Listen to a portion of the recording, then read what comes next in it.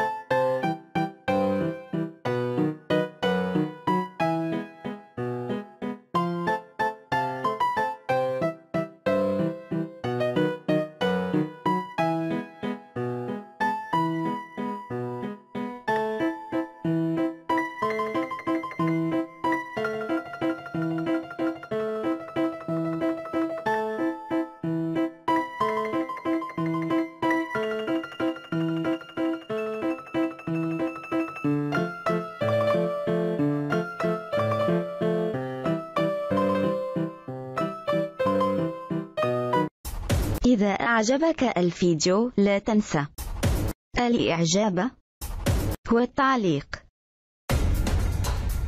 ولكي يصلك كل جديد. اشترك الآن.